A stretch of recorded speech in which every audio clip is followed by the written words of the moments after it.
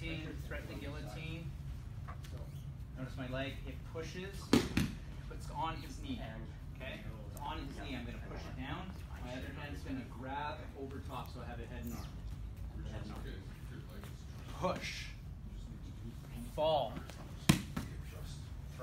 Jumping over. Feed through. Notice how I'm pushing his head back as I feed through.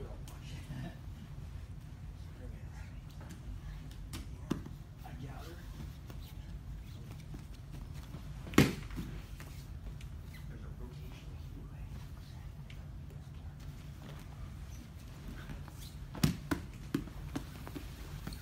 See, I scroll back and keeping his head down.